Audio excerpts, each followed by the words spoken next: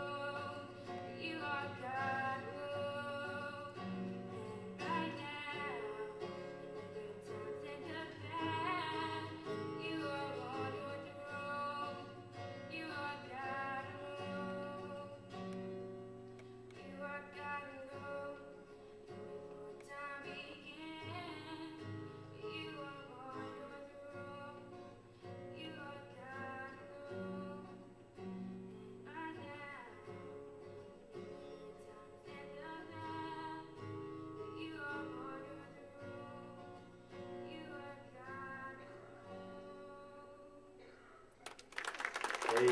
Glenda Whitehead.